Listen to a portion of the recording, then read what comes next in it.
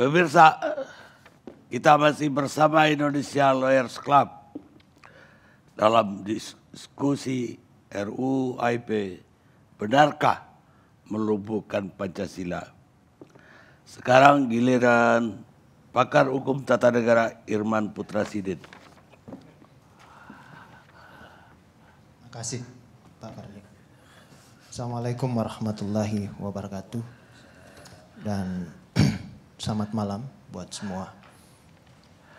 Saya kira saya juga setuju dengan Habib Abu Bakar bahwa barometer kebutuhan konstitusional Republik ini itu itu saya tunggu tiap minggunya itu di acara ILC topiknya itu apa. Jadi kalau Jadi kalau Bang Karni berpikir lain, ya itu itu adalah wajah yang bisa kita teropong. Oh, pergerakan konstitusional minggu ini begini. Kita bisa teropong di situ. Makanya ketika topik ini kemudian dimunculkan, wah, kayaknya Covid udah mulai harus dipikirkan kembali pemerintah nih. Status darurat bencananya dan status darurat kesehatan masyarakat sudah mulai harus dipersiapkan ke depan seperti itu karena masyarakat kayaknya lebih fokus untuk berbicara tentang HIV ini. Bukan lagi sesuatu yang seperti tiga bulan lalu soal COVID itu. Kira-kira begitu Pak Garni. Nah, perdebatan kita malam ini adalah saya juga setuju dengan pertanyaan Pak Karni. Uh, tadi ke Habib Abu Bakar. Ini kenapa takut sekali sama komunis? Bangkit dan tidak ada pasal dalam RUHP itu yang ingin menghidupkan komunis. Nah pertanyaan itu yang kemudian saya mencoba mereka-reka. Ada apa ini? Kenapa tiba-tiba komunis kemudian kita memperdebatkan. Dan begitu kencang dan begitu ketakutan kita. Saya mencoba merunut-runut ya. Perjalanan sejarah ketatanegaraan kita di reformasi 98 jadi ketika reformasi 98 itu bergaung, adalah mengembalikan kehidupan masyarakat kepada kehidupan konstitusional yang ideal. Tidak boleh ada kekuasaan yang kemudian merampas hak-hak warga negara. Gak boleh ada seperti itu. Intinya seperti itu. Mengembalikan daulat itu kepada di tangan rakyat. Maka semuanya bunyi ketika reformasi 1998. Dan salah satunya ketika itu adalah masuknya gelombang hak asasi manusia masuk dalam perubahan konstitusi yang kemudian diresponslah orang-orang yang pernah tertindas di masa Orde Baru karena terlibat dianggap terlibat baik langsung atau tidak langsung dengan organisasi terlarang ketika itu. Masih ingat KTP yang ada kodenya itu Pak Karni kan? Itu udah nggak udah mati ya hak haknya orang itu di situ kalau sudah padahal mungkin dia hanya pernah diundang mungkin di situ atau mungkin tidak pernah sama sekali tiba-tiba dia kehilangan hak-haknya selama puluhan tahun. Maka kemudian reformasi 1998 kita ingin udah lupakan semua itu. Ya. Kita lupakan semua itu. Tidak bisa luka-luka lama ini kemudian kita pelihara terus untuk berbangsa dan bernegara. Gak bisa di situ. Maka kemudian teman-teman yang pernah di stigma organisasi terlarang ini menggugat di Mahkamah Konstitusi. Pak. Dia menggugat di Mahkamah Konstitusi tahun 2003. Karena perubahan Undang-Undang Dasar menghadirkan Mahkamah Konstitusi ketika itu untuk mengawal konstitusi. Maka ini adalah ruang. Masuklah teman-teman menguji di Mahkamah Konstitusi. Sebelum dia masuk, dia masuk ke Mahkamah Agung kemudian dilimpahkan ke Mahkamah Konstitusi. Dan Mahkamah Konstitusi ketika itu mengabulkan permohonan yang pernah terlibat dengan organisasi terlarang. Silahkan teman-teman warga negara yang pernah terlibat dengan organisasi terlarang.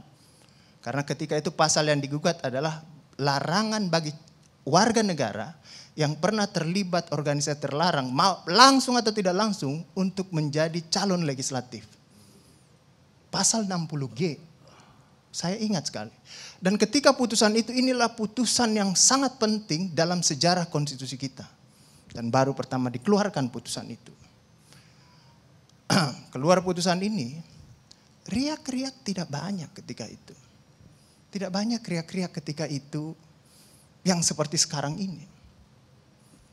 Bahwa kemudian ini tidak ada ini akan kebangkitan PKI, ini akan kebangkitan Coba Pak apa Ustadz Abu Bakar coba buka filenya di tahun 2004. Ustadz Abu Bakar ngomong apa di situ ketika keluar putusan itu, putusan MK itu. Boleh warga negara yang pernah diduga terlibat atau apa terlibat KTP-nya untuk menjadi calon legislatif. Saya pun ketika itu mengatakan bahwa ini hanya bukan calon legislatif, bisa juga menjadi calon kepala daerah nih.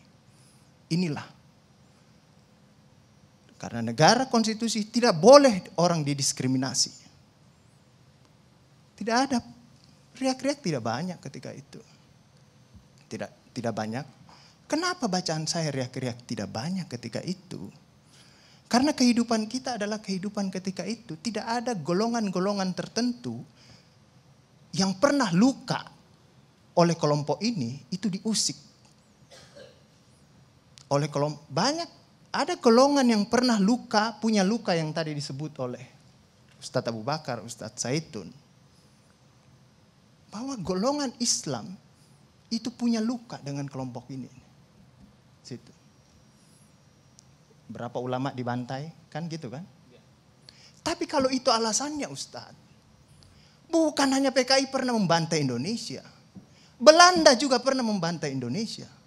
Westerling itu di rumah saya di Sulawesi Selatan sana, korban 40 ribu jiwa. Tapi apakah kemudian luka itu kita pelihara sehingga kita tidak mau jalan-jalan ke Belanda sana? Tidak juga Ustaz. Gitu. Kurang apa kerja kejamnya lagi Jepang dengan rumus. Bukan hanya mengganti ideologi, negara ini mau diambil alih semua. Tapi kemudian kita tidak ada masalah. Mungkin kita sebagai Islam karena Islam kita ini rahmatan lil alamin. Mungkin karena kita ini bangsa Indonesia bukan bangsa yang pendendam. Atau bisa jadi mungkin ketika kita diperhadapkan dengan persoalan ini, kita tidak merasa diperlakukan tidak adil dalam peradaban global. Sehingga bangsa-bangsa yang pernah menindas kita, itu kita tidak ada masalah lah. Kita bisa bersahabat berpegangan tangan lagi.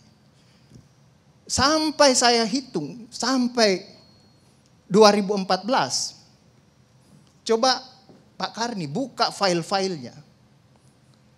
ILC itu 2016 ke bawah pernah tidak ada perdebatan-perdebatan yang Pak Karni angkat, perdebatan ketegangan-ketegangan antara kelompok Islam dan kelompok-kelompok nasionalis. Bisa dibuka di situ. Tapi setelah itu banyak sekali filenya. Saya hitung. Jadi apa yang kita bicarakan malam ini adalah bagian dari pasal yang sering dibicarakan oleh LC sejak lima tahun terakhir ini. Ketegangan-ketegangan antara kelompok Islam dan kelompok nasionalis. Istilah ini ada dalam sejarah konstitusi tadi disebutkan oleh Pak Fadlison. Dalam piagam Jakarta. Dan ketegangan itu terjadi. Tadi disebutkan Ustadz Saitun. Ada luka yang golongan Islam udah sebenarnya udah kering ini barang. Kering ini barang. Tapi kita luka ini, luka ini sama-sama. Tadinya saya berpikir golongan Islam ini pecah-pecah juga. Tapi baru di isu ini ternyata saya mengambil kesimpulan semua golongan Islam itu bersatu ketika dia berbicara dengan luka lamanya di situ. Tidak ada lagi perbedaan. Jadi saya mulai membagi kelompok Islam ini. Ada kelompok Islam yang nyata-nyata dia menentang oposan, mengoposisi pemerintah.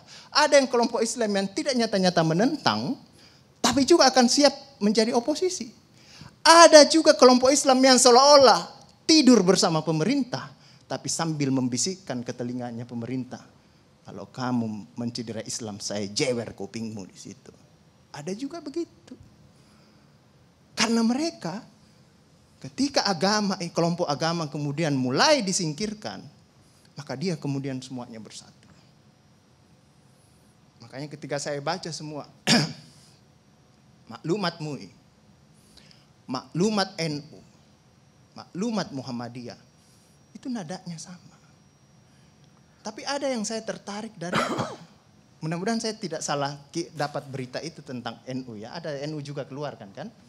Gitu. Mudah-mudahan saya tidak salah baca. Saya lebih sepakat dengan itu.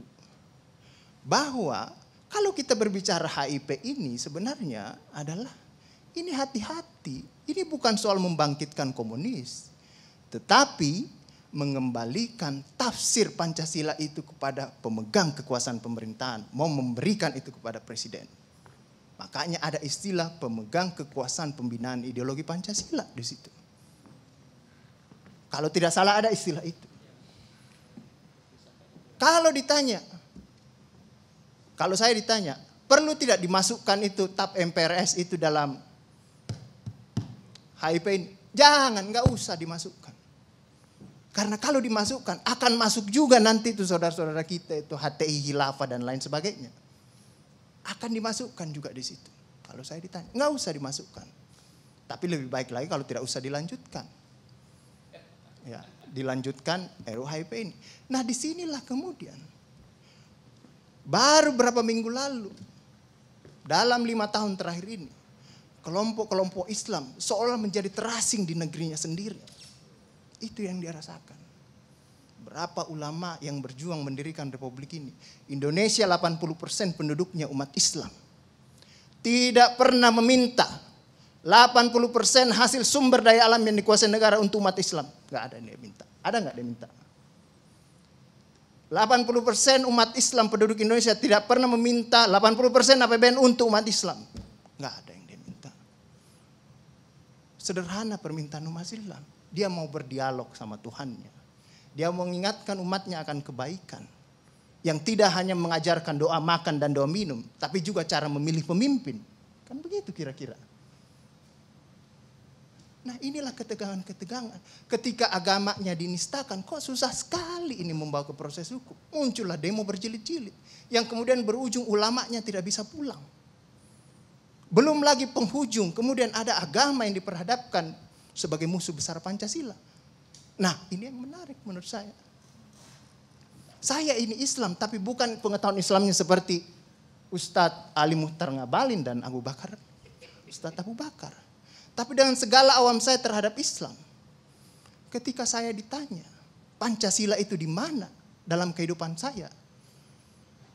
Maka saya juga akan, saya akan mengatakan bahwa ketika saya lahir, orang tua saya itu membisikkan Pancasila di telinga saya. Cuma bahasanya bukan seperti yang tertulis dalam undang-undang dasar itu. Dia membahasakan Allahu Akbar, Allahu Akbar. Ashadu an la ilaha illallah. Ashadu anna Muhammad Rasulullah. Apa yang saya dengar di situ? Ketuhanan yang Maha Esa Hayyalas salah. Apa yang saya dengar di situ? Mari kita bersatu sama-sama. Karena kita akan mendirikan sholat. Dan Al-Ankabut mengatakan sholat itu mencegah kamu dari perbuatan keji dan mungkar. Ada kemanusiaan yang adil dan beradab. Saya dengar di situ. Hayyalal falah. Mari sama-sama menuju kemenangan. Kemenangan yang bagaimana kita peroleh? kerakyatan yang dipimpin oleh hikmat kebijaksanaan dalam permusyawaratan perwakilan. Kemenangan yang banyak, keadilan sosial bagi seluruh rakyat Indonesia. Itulah kemenangan yang kita tuju. Kita kembali lagi takbir. Allahu Akbar, Allahu Akbar. La ilaha illallah. Kita ulang lagi. Dan Pancasila yang kita tiupkan itu. Lima kali sehari. Belum selesai di sini. Selesai bunyi terus. Ya kan Ustadz kan? Belum selesai di daerah sini Selesai bunyi bertalu-talu terus. Seluruh dunia bertalu-talu. Inilah Islam. Yang kemudian sekarang dalam kelompok ini Ustadz Ali Muhtar Ngabalin. Saya banyak belajar dari beliau. Inilah yang kemudian sekarang kenapa kami mau diperhadap-hadapkan? Kenapa kami ada yang menjalankan keyakinannya ketika dia celananya cingkrang, radikal, atau dia pakai cadar, dulu diperhadap-hadapkan. Saya Indonesia, saya Pancasila, ada dulu itu banyak sekali seperti itu. Kenapa kami seperti ini? Sekarang Akhirnya sekarang semua orang disuruh pakai cadar. Seperti itu. Inilah kemudian rentetan yang membuat istilah tadi Ustadz Abu Bakar. Kok paranoid sekali dengan undang-undang HIP ini? Ada luka. Ada luka yang tadinya sudah mulai mengering, dilupakan. Tapi tiba-tiba ini kemudian dikhawatirkan. Jangan sampai Pancasila ini mau dipakai sebagai instrumen untuk memimpinkan kelompok Islam dalam republik ini. Apalagi kalau kita baca RUHP itu, pemegang kekuasaan pembinaan ideologi Pancasila ada sama presiden. Saya juga baca-baca sekilas tadi. Kok di situ ditulis pendidikan nasional menurut undang-undang ini itu berubah. Tujuan pendidikan nasional oleh undang-undang dasar mengatakan bahwa beriman, bertakwa, berakhlak mulia. Di sini diciptakan pendidikan nasional itu bertujuan untuk menjadi tenaga ahli dan terampil. Ini kan mau dikasih jadi tukang ini. Bagi kapitalis kalau seperti itu berpikirnya. Nah inilah yang kemudian yang dirasakan oleh kelompok-kelompok Islam dalam perspektif perjalanan konstitusional kita bahwa ada yang tidak adil dilakukan oleh kekuasaan. Kelompok Islam selama ini tadi yang saya katakan tidak pernah meminta apa-apa. Paling jauh kelompok-kelompok Islam mungkin dapat honor dari negara. Itu pun tidak dipakai untuk foya. Dikembalikan lagi untuk membantu negara, menghidupkan santri-santri, mencerdaskan kehidupan bangsa, menciptakan manusia-manusia yang beriman, bertakwa dan makhluk mulia. Yang sebenarnya tugas pemerintah itu dikembalikan lagi seperti itu. Itulah yang kemudian mulailah sekarang kelompok Islam sangat hati-hati. Kalau kemudian Pancasila ditiupkan terus, ditiupkan terus, seolah-olah ini mau dijadikan instrumen untuk memarjinalkan. Siapa kekuasaan itu pertanyaannya? Saya juga tidak tahu. Tetapi kita akan bisa menemukan jawabannya itu Pak Fadli, Pak Ali Muhtar. Mari kita pulang ambil cermin masing-masing di rumah. Bisa jadi kekuasaan itu ada pada wajah dalam cermin itu. Saya kira itu Pak Karni yang bisa saya sampaikan. Baik.